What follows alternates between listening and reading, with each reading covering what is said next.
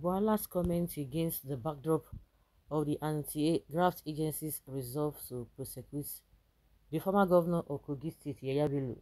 The FCC is seeking to arraign Bello on 19 counts bordering on alleged money laundering, breach of trust and misappropriation of funds to the tune of 80.2 billion naira. Speaking on the developments, Boala said the chairman of the EFCC, Ola Olukoyede, shot himself in the leg during an interview he gave on Tuesday. He said, I don't think at this stage anyone should doubt that the EFCC needs reform. In the interview he had on Tuesday, he shot himself so many types of bullets, showing the world that it is a disproportionate application of their principles. One, he said he would give the governor a chance to come to his office through the back door for an interview, which nobody gets, and the law is that everyone is equal and nobody is above the law. Hmm. Secondly, it also shows the zeal with which Yaya Bello must be arrested. There are similar cases before him to which he has given a preliminary indictment, but the person has not been arrested. A good example is the suspended humanitarian minister, and there is no drama around her. He even said it is not about her but the system. In one breath, it is about personality. In another, it is not. Okay. Well, uh, in the case of a, uh, if you want to take it to that route, because of course the man goofed many times, but the uh, in the case of a uh, Beta Edu, Beta Edu was invited and she went. But Yaya Bello is making is complicating issues. That is where the problem lies. Yahaya Bello is just trying to create problems and you know, uh, uh, you know, create stories here and there, and that is exactly uh, what uh, is happening, and that is the reason why you see or you hear the EFCC boss talking about uh, oh, if he could, uh, if he could go after who I think the former Kwara governor, and also there's somebody he made mention an Igbo person and all of that. Not what okay, what stops him? If even if he could if he could go after his own tribesman and all of that, I think uh, those are the things that he said that really spoiled everything, the press release or whatever conference that he had, or whether you call it interview. He goofed many times. So, uh, but I just want to pinpoint uh, the case of a uh, Beta Edu. Beta Edu was invited, no drama. She didn't refuse anything, but you can imagine the way Yagabilu and uh, the governor Odudu, the kind of game they played. Well, um, it still boils down on what a lot of people are saying that uh, the the action they are taking or they took against some other people is different from what they are doing to Yaya Bello. I'm sure Yaya Bello don't grease the palm of this uh, stomach infrastructure Buhala. This man should just keep his mouth shut because his words is worthless there's nothing they can say that will earn any earn him any more respect. He jumped from working for Tinubu to working for Atiku, thinking he would win the last election. Now that Atiku lost, Buhala has been speaking speaking a comeback to Tinubu. What kind of human being are you? It is shameful. He can't even be here talking about EFCC. It is even does it doesn't it doesn't make sense, my brother. Just face your law in the UK and let us be The EFCC and the ICPC missionary goal represent the interests of all Nigerians, which is to abolish and uh, eradicate corruption virus from the vein of all Nigerians. We are 100% behind the two anti-corruption agencies, 100%. This man is okay. How speaking uh, Buhaha and anyhow like his name. Some people are just even bent uh, in strangulating this country for political gains.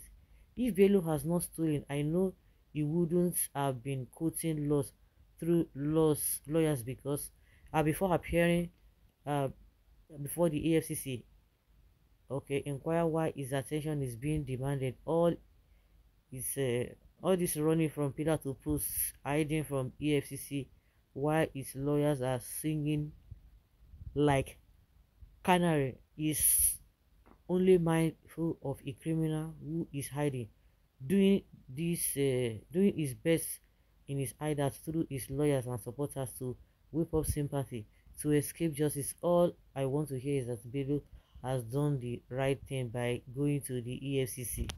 Bwala, please show us his dead body now. Okay, Bwala, you can cry. Or you can just make sure you are not on the payroll of any of those criminals or else he will go in for it. What is bad in this in a speech? He can say anything. The goal is Yahaya Bello is arrested. That's, that means irrespective of what uh, the EFCC boss has said or is saying, is inconsequential according to this particular person. What is most important is that Yahaya Bello is arrested at the end of the day.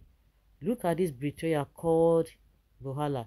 You betrayed Atiku, the worst anyone can do to his master. EFCC is justifying its actions. What about you? Prostituting yourself from one party to another. You are all you are a disappointment to the law profession. Talkative, it talks too much.